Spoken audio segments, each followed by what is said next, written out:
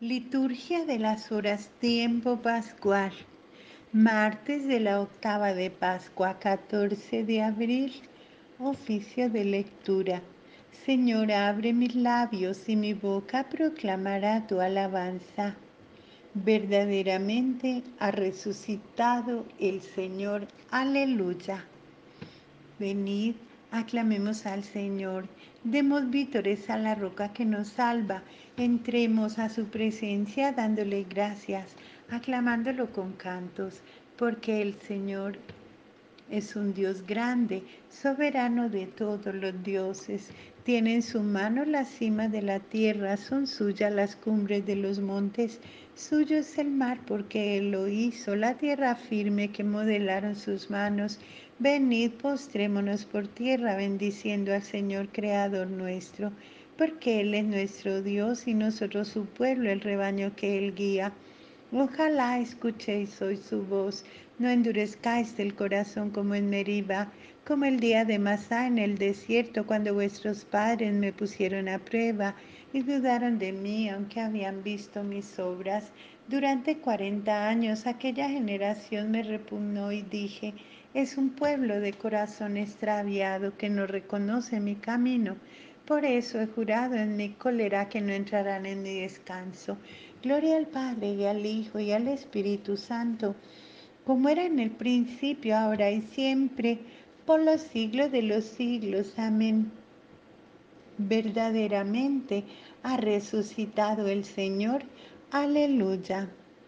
Himno que doblen las campanas jubilosas y proclamen el triunfo del amor y llenen nuestras almas de aleluyas, de gozo y esperanza en el Señor. Los sellos de la muerte han sido rotos, la vida para siempre es libertad. Ni la muerte ni el mal son para el hombre su destino, su última verdad.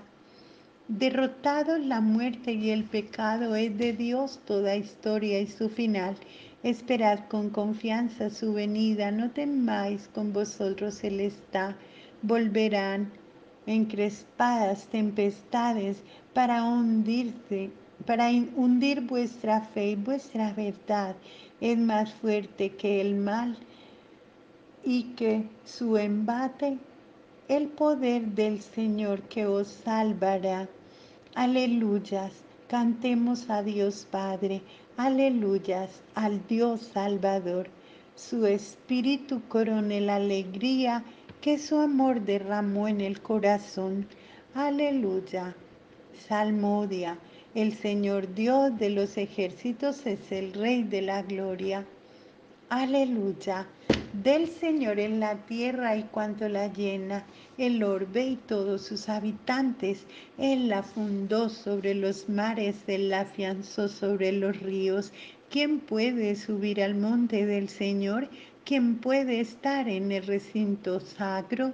El hombre de manos inocentes y puro corazón, que no confía en los ídolos ni jura contra el prójimo en falso, ese recibirá la bendición del Señor, le hará justicia el Dios de salvación. Este es el grupo que busca al Señor, que viene a tu presencia, Dios de Jacob. Portones, alzad los dinteles, levantaos puertas antiguas, va a entrar el Rey de la Gloria. ¿Quién es ese Rey de la Gloria? El Señor, héroe valeroso el Señor, héroe de la guerra, portones, alzad los dinteles, levantaos puertas antiguas, va a entrar el Rey de la Gloria. ¿Quién es ese Rey de la Gloria? El Señor Dios de los ejércitos, Él es el Rey de la Gloria. Gloria al Padre y al Hijo y al Espíritu Santo, como era en el principio, ahora y siempre, por los siglos de los siglos. Amén. El Señor Dios de los ejércitos es el Rey de la gloria. Aleluya. Bendecid pueblos a nuestro Dios, porque Él me ha devuelto la vida. Aleluya. Aclama al Señor tierra entera, tocad en honor de su nombre, cantad himnos a su gloria Decida Dios qué terribles son tus obras, por tu inmenso poder tus enemigos se rinden, que se postre ante ti la tierra entera, que toquen en tu honor, que toquen para tu nombre. Venid a ver las obras de Dios, sus temibles proezas en favor de los hombres. Transformó el mar en tierra firme, a pie atravesaron el río. Alegrémonos con Dios que con su poder gobiernan eternamente. Sus ojos vigilan a las naciones para que no se subleven los rebeldes. Bendecid pueblos a nuestro Dios, haced sonar sus alabanzas, porque Él nos ha devuelto la vida y no dejó que tropezaran nuestros pies. Oh Dios, nos pusiste a prueba, nos refinaste como refinan la plata, nos empujaste a la trampa, nos echaste a cuestas un fardo, sobre nuestro cuello cabalgaban, pasamos por fuego y por agua, pero nos has dado respiro. Gloria al Padre y al Hijo y al Espíritu Santo, como era en el principio, ahora y siempre, por los siglos de los siglos. Amén. Bendecid pueblos a nuestro Dios, porque Él me ha devuelto la vida. Aleluya. Venid a escuchar, os contaré lo que el Señor ha hecho conmigo. Aleluya. Entraré en tu casa con víctimas para cumplirte mis votos, los que pronunciaron mis labios y prometió mi boca en el peligro. Te ofreceré víctimas cebadas, te quemaré carneros, inmolaré bueyes y cabras. Fieles de Dios, venid a escuchar, os contaré lo que ha hecho conmigo. A él gritó mi boca y lo ensalzó mi lengua. Si hubiera tenido yo mala intención, el Señor no me habría escuchado, pero Dios me escuchó y atendió a mi voz suplicante. Bendito sea Dios que no rechazó mi súplica, ni me retiró su favor. Gloria al Padre y al Hijo y al Espíritu Santo, como era en el principio, ahora y siempre, por los siglos de los siglos. Amén. Venid a escuchar, os contaré lo que el Señor ha hecho conmigo. Aleluya. Dios resucitó a Cristo entre los muertos, aleluya, para que nuestra fe y esperanza se centren en Dios, aleluya. De los hechos de los apóstoles, cuando llegó el día de Pentecostés, estaban todos reunidos en un mismo lugar. De pronto se oyó un estruendo que venía del cielo, como un viento impetuoso que invadió toda la casa donde estaban reunidos. Y aparecieron unas como lenguas de fuego que se repartieron y se posaron sobre cada uno de ellos todos quedaron llenos del Espíritu Santo y comenzaron a hablar en lenguas extrañas según les hacía expresarse el Espíritu. Vivían a la sazón en Jerusalén judíos, hombres piadosos que pertenecían a todas las naciones que hay bajo el cielo. Al producirse aquel estruendo, acudió un gran gentío y todos quedaban atónitos al oírlos hablar cada uno en su propia lengua, maravillados y llenos de estupor, exclamaban, pero ¿no son Galileos todos estos que están hablando?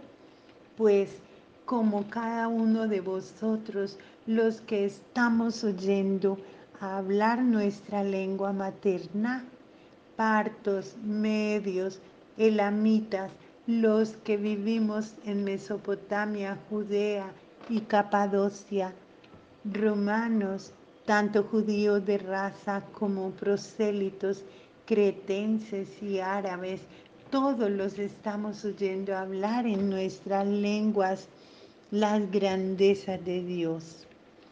Perplejos y llenos de estupor se preguntaron unos a otros, ¿pero qué es esto? Otros se burlaban y decían, están llenos de mosto.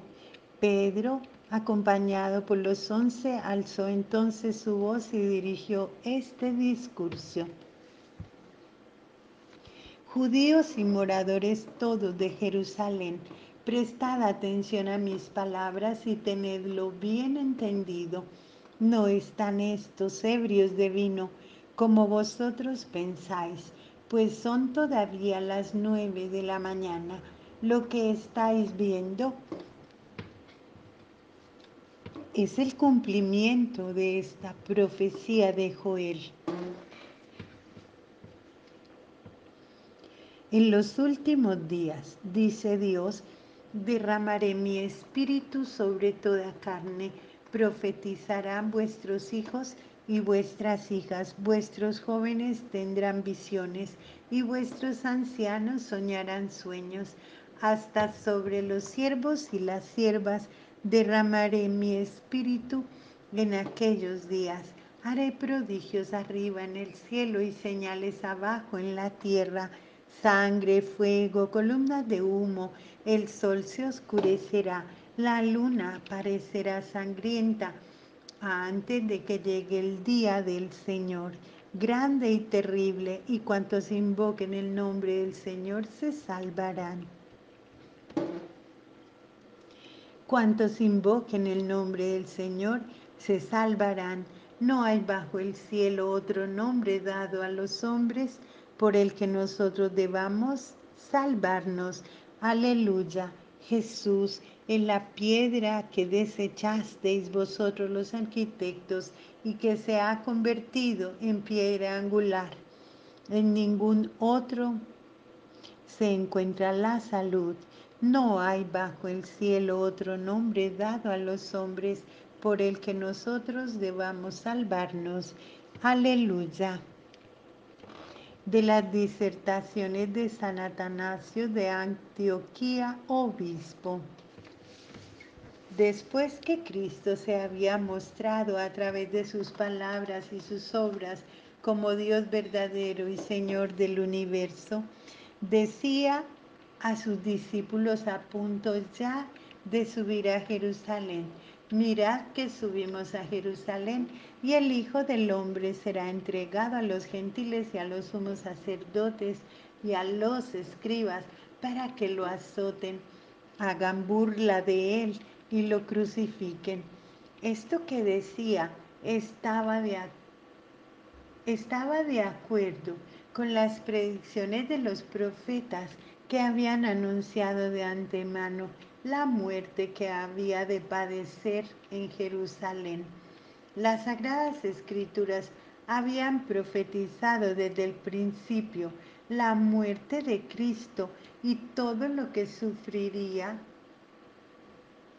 antes de su muerte, como también lo que había que suceder con su cuerpo después de muerto.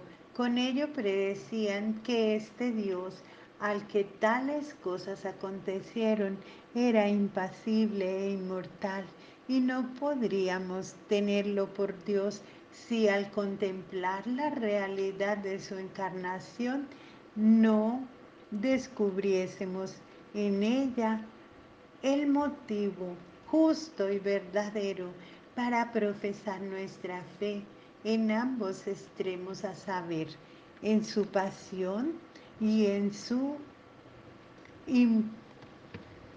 impasibilidad, como también el motivo por el cual el verbo de Dios, por lo demás impasible, quiso sufrir la pasión, porque era el único modo como podía ser salvado el hombre. Cosas todas estas que solo las conoce Él y aquellos a quienes Él se las revela. Él, en efecto, conoce todo lo que atañe al Padre. De la misma manera, que el Espíritu penetra en la profundidad de los misterios divinos. El Mesías, pues, tenía que padecer y su pasión era totalmente necesaria, como él mismo lo afirmó cuando calificó de hombres sin inteligencia y cortos de entendimiento a aquellos discípulos que ignoraban que el Mesías tenía que padecer para entrar en su gloria, porque Él en verdad vino para salvar a su pueblo, dejando aquella gloria que tenía junto al Padre antes que el mundo existiese.